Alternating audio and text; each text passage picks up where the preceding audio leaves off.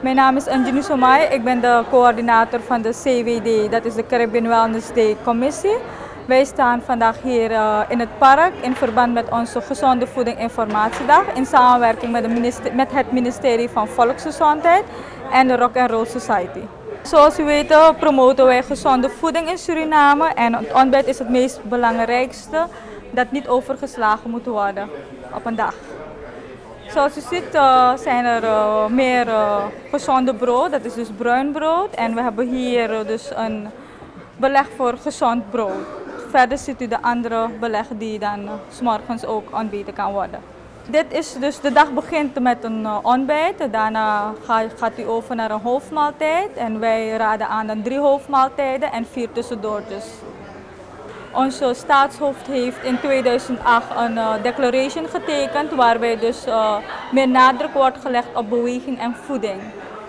Vandaar dat dit is ons tweede evenement betreffende gezonde voeding in het park.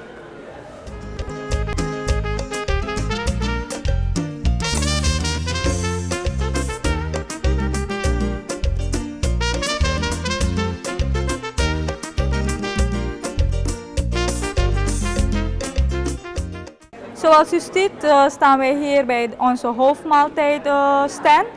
U ziet daar uh, onze Creoolse maaltijd, dat is bitawiri moxalesi. Als u verder loopt ziet u de Hindustaanse, dat is roti met groenten, in het bijzonder boulanger met tomaat, urdidaal, pompoen en roti. Als u verder kijkt heeft u Javaans gerecht, dat is pichel en gudagan. Verder ziet u een mix, dat is harlequinen salade. En verder op de tafel ziet u iets Chinees, dat is chap soy.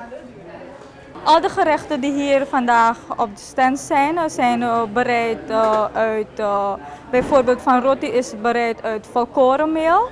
En moxalesi, dat hebben wij daarvoor gebruikt zilvervliesrijst. Alle vetten die zijn dus de olijfolie of zonnebloemolie.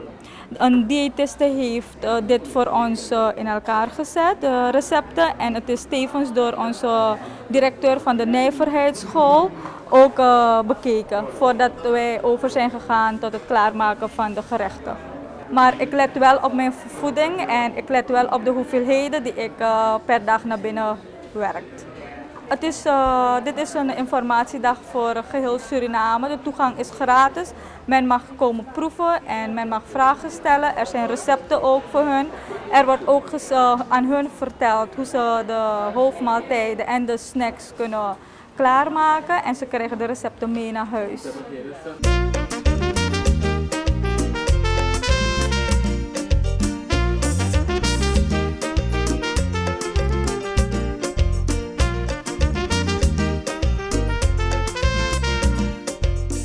Dit is um, Podosiri, uh, bij de meeste mensen in Suriname bekend. Um, heel rijk aan ijzer.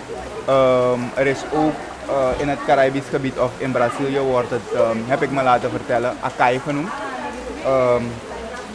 Wordt veel reclame over gemaakt. Ik heb gehoord dat ze op het internet ook flesjes verkopen. Maar dan is het veel duurder natuurlijk, 12 uh, US dollar heb ik gehoord uh, per flesje.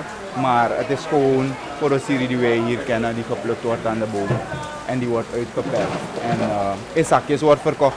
Ik heb mij laten vertellen dat het een hele goede ijzer um, uh, gehalte heeft. En voor mensen met een lage salie is dit heel goed. Ook mensen met kanker. Die moeten volgens mij, ik hou me dat ten goede, 200 milliliter per week gebruiken. Maar de precieze omschrijving uh, kunt u liever aan de diëtiste vragen. Waarvoor het precies exact goed is en uh, wat men er allemaal mee doet. Een, een smoothie is eigenlijk een drankje op basis van vers fruit.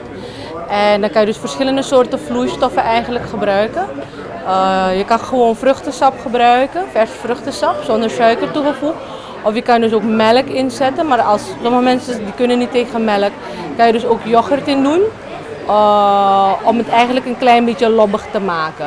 Het verschil tussen een smoothie en gewoon vruchtensap is dat smoothie dus echt net als een milkshake wordt. Hè? Heel dik.